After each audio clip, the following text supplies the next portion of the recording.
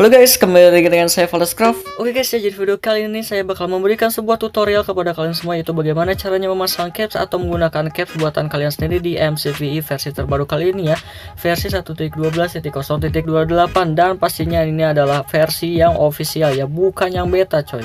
Dan saya juga akan memberikan sebuah tutorial kepada kalian semua yaitu bagaimana caranya agar caps ini bisa digunakan di server ya. Jadi kita bisa login Xbox dengan menggunakan caps ini. Dan ya by the way yang menggunakan caps kali ini adalah skin Steve ya, bukan skin Alex ya. Jadi di video sebelumnya saya juga membuat tutorial seperti ini tapi itu skin Alex coy. Ya karena kalau skin Alex bagi kalian tahu ya pas masang skin buatan kita sendiri itu kadang suka ada ngebugs ya. Kalau sekarang skin Steve coy, waduh mantap banget dah. Oke sih jadi mungkin tanpa basa-basi lagi langsung aja kita ke tutorialnya guys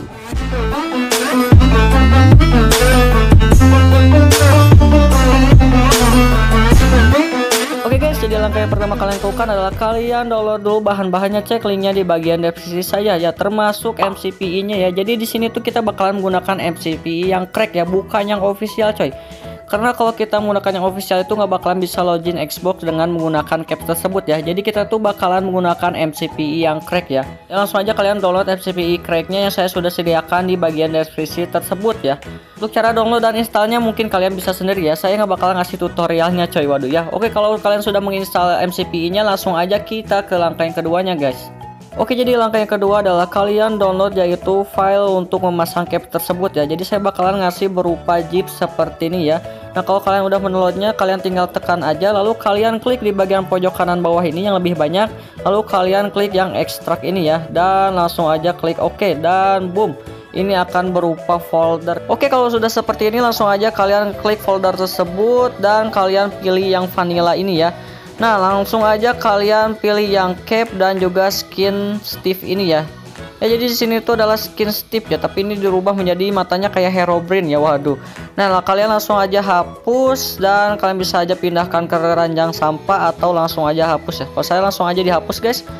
Nah langsung di sini kalian cari di mana kalian menyimpan skin dan caps kalian Nah kalau skin dan cap buatan kalian sudah ketemu langsung aja kalian klik cap buatan kalian tersebut dengan cara ditahan seperti ini. Lalu kalian klik di bagian pojok kanan samping kiri ini yang namanya ulang.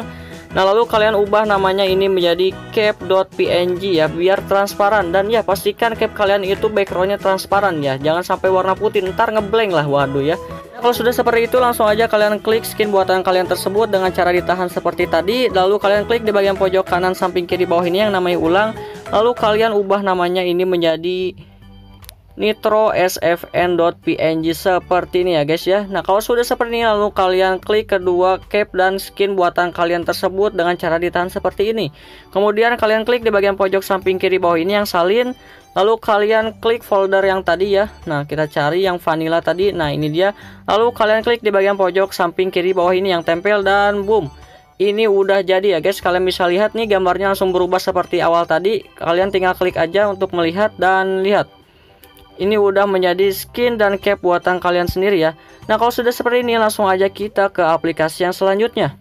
Oke jadi di aplikasi selanjutnya itu adalah APK Editor Pro dan ini adalah yang mod ya. Jadi saya bakalan sediakan juga linknya di bagian deskripsi saya dan ini adalah versi yang 1.9.10 ya kalau nggak salah Nah, kalau kalian udah masuk APK editornya langsung aja kalian kalian klik yang select APK from app yang, yang baris kedua ini ya. Nah, ini langsung aja kalian cari Minecraft. Nah, aja klik Minecraft kalian dan langsung aja kalian di sini pilih yang full edit ya, yang resource rebuild ini yang kolom paling atas ya.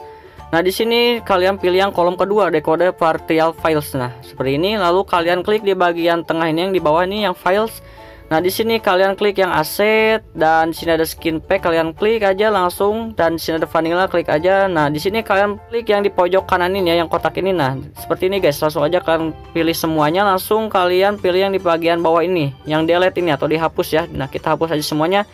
Nah, kalau sudah seperti ini langsung aja kalian klik yang di pojok kanan bawah ini ya, yang kayak bentuk file ini. Langsung aja kalian cari di mana kalian membuat tadi skin buatan kalian ya. Nah kalau sudah ketemu langsung aja kalian masukin. Nah seperti ini ya secara berurutan coy. Dan untuk teks ini Redmi menurut saya nggak usah ya karena cuma teks doang dan langsung aja kita ke bagian skin Johnson. Nah kalau sudah seperti ini langsung aja kalian klik di bagian pojok kanan atas ini ya yang build. Nah langsung aja kalian tunggu coy. Butuh kesabaran juga ya waduh Five minutes later. Nah kalau sudah seperti ini langsung aja kalian klik di bagian pojok samping kiri ini ya yang remove ini. Nah kita jadi cabut dulu ya yang aplikasi sebelumnya. Nah di sini kalian klik aja yang batalkan ya biar word kalian juga gak keikut kehapus ya. Nah kalau sudah seperti ini langsung aja kalian klik yang install ini ya. Nah langsung aja kita install dan install juga guys. Oke. Okay. Nah kalau sudah seperti ini tandanya ini Minecraftnya sudah terpasang dengan menggunakan cap buatan kalian ya. Oke langsung aja kita selesai dan langsung aja kita buka Minecraftnya. Nah dan akhirnya skin kalian sudah terpasang dengan menggunakan cap buatan kalian sendiri ya. Waduh ini keren banget dah. Oke untuk cara loginnya kalian ke bagian setting lalu ke bagian profil ini ya. Nah di sini use cellular datanya kalian nyalain dulu. Oke dan kemudian kalian klik yang di bagian pojok samping kiri nih ya yang sig ini nih Nah, kita connect dulu. Nah, di sini kalian masukkan akun Microsoft kalian yang buat biasa main ke server gitu ya. Nah, jangan sampai lupa sandinya ya. Kalau sampai lupa, waduh parah guys, waduh ya. Kalau sudah seperti ini langsung aja kalian klik yang masuk akhirnya kita bisa login Xbox dengan menggunakan caps guys. Waduh mantap banget. Dan ini adalah skin Alex ya. Bukan eh skin Steve coy. Waduh maksudnya ya. Ini adalah skin Steve ya. Bukan skin Alex guys. Waduh mantap banget dah. Oke guys, jadi dari tadi bagaimana caranya memasang cap buatan kalian sendiri di MCPE versi terbaru kali ini? Dan pastinya bisa login Xbox tanpa bantuan aplikasi lain ya. Jadi lihat guys, kita bisa menggunakan caps di server ya. Waduh, mantap banget dah. Oke guys ya, jadi mungkin saja dari video saya kali ini semoga aja bermanfaat untuk kalian semua ya. Terima kasih, jangan lupa dan bye.